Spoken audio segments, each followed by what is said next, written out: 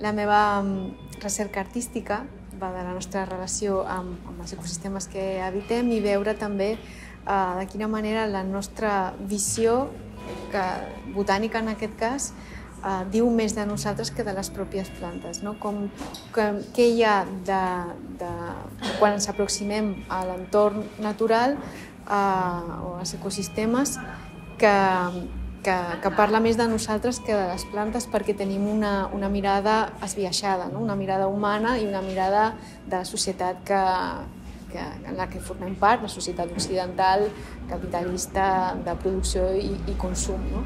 I això, a l'hora d'apropar-se a, la, a la natura, doncs, ens apropem des d'aquí i, per tant, eh, ens apropem d'aquesta manera. La meva, la meva feina va una mica de trencar aquests, aquestes limitacions de la visió antropocèntrica, intentar obrir-les cap a realitats menys antropocèntriques i sobretot de, les altres éssers vius que conviuen amb nosaltres. No? Intentar entendre l'entorn des de punt de vista no humans, però amb la dificultat de que som humans, no? aquesta limitació.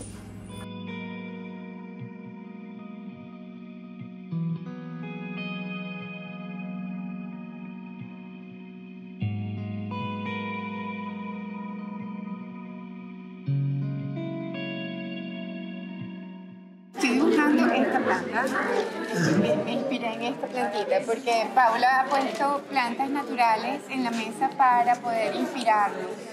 Porque a veces uno quiere dibujar y no sabe qué dibujar, ¿sabes? Entonces, la propuesta de ella de acercarnos a la naturaleza a través de modelos reales de plantas y de hojas y de semillas y además con referencia de preciosos libros que están allí, pues mira, uno se siente y dibuja delicioso.